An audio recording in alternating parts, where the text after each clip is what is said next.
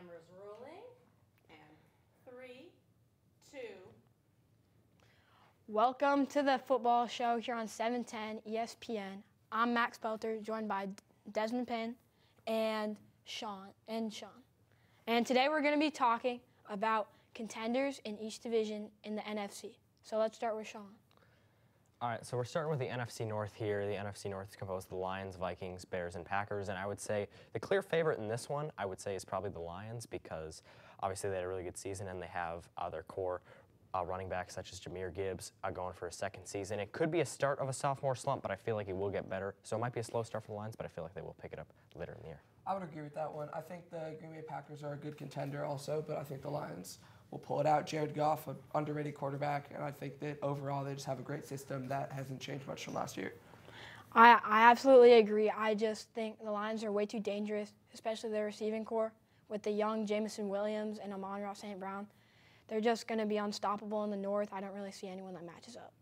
So next, let's start with the South, and let's start with Desmond this time. All right, the South would be um, the Falcons, Panthers, Saints, and Bucks. And I'm going to go with kind of a curveball here, and I'm going to go the Panthers. I think Bryce Young is going to have a good sophomore season. Uh, they put some pieces around him. I think that last season they just didn't really know what was up, what was going on. They didn't know how Bryce Young was going to do, and honestly, Bryce Young's performance was not bad last season. It was the team around him. So I really think that they might go ahead. Um, really quickly, Sean, before you answer, we have a caller calling in. All right. Yeah, uh, I was gonna say, uh, I don't agree with that choice there. There, uh, I actually think the Buccaneers are the heavy favorite there, coming out of the NFC South. I mean, you got Baker Mayfield, who's coming off his best season ever. Um, Mike Evans, the most consistent receiver in the league, and Antoine Winfield Jr., uh, in my opinion, who's the best free safety in the league. Uh, I just like to say that guy. All right, thank you. Um, what do you think about that, Sean?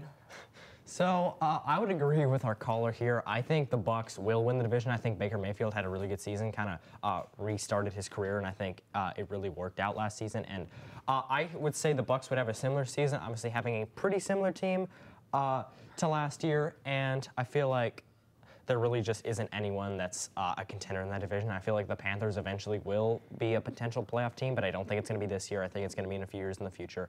But uh, I think uh, the Bucks win it by a similar amount. All like they right, did last we're, year. we're running out of time. We got to do a speed round of these next two. How about the NFC East, Desmond? Um, I think it's pretty clear. I think the Eagles with Jalen Hurts, AJ Brown, just a great receiving corps.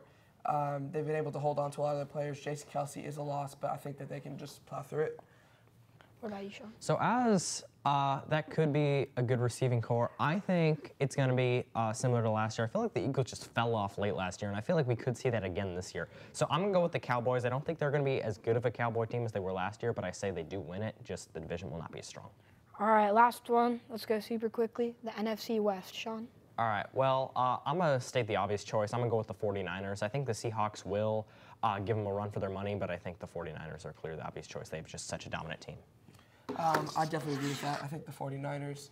Uh, the Seahawks, again, great young core. I think great uh, kind of feel swap with a new coach, but overall, I think the 49ers are going to continue their dominance with their pieces. And those are all our takes. We'll leave you with a quick ad break here.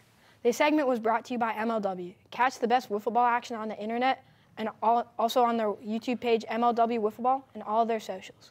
Also, they have a summer of stadium tours, and they are headed to many major league parks, as well as minor league parks all around the country. And look for play-by-play calls after after the first game of every series posted on YouTube.